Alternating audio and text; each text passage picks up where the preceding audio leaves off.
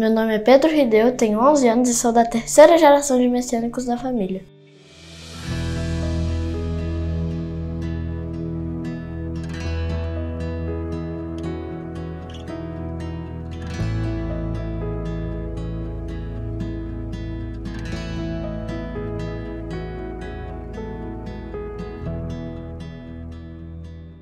Recebi o choco, medalha de proteção para crianças, em março de 2021.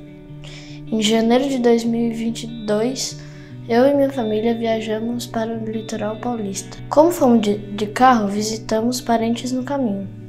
Chegando em Peruíbe, São Paulo, no terceiro dia após a chegada, recebemos a notícia que, em que os familiares que visitamos foram diagnosticados com Covid-19. Nesse mesmo dia, Comecei a purificar. Após voltar da praia, senti um mal-estar e fui dormir. Quando acordei, estava com febre de 38 graus. No mesmo instante, meu primo que viajou conosco também apresentou febre. Nesse momento, meus pais começaram a me ministrar jorei e entraram em contato com os pais do, do meu primo, os quais pediram para lhe dar medicamento. Eu resolvi ficar somente no jorei. Após quatro horas recebendo jurei, senti uma dor de cabeça muito forte. Então meus pais intensificaram a administração de jurei. Depois de algum tempo, comecei a transpirar e sentir um pouco melhor. Assim, consegui levantar, tomar banho e jantar. A febre retornou na hora de dormir e meus pais revezavam na administração de jorei para mim. No dia seguinte, acordei melhor e não tive febre. Meu primo teve outro pico de febre durante a tarde e tomou medicamento. Alguns dias depois, peregrinei ao Solo Sagrado de Guarapiranga para assistir ao Hatsuike e ao culto mensal de agradecimento. Era meu sonho retornar ao solo sagrado, e graças a Deus e a Meixo Sama